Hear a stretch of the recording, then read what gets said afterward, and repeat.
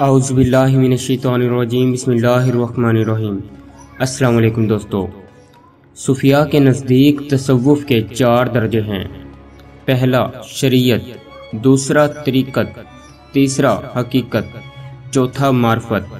शरह मसनवी रूमी में एक हदीस बयान की गई, जिसमें आका सल्लल्लाहु अलैहि वसल्लम ने फरमाया, शरीयत मेरे अकवाल का नाम है।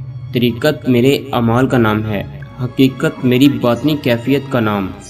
और मार्फत मेरा राज है।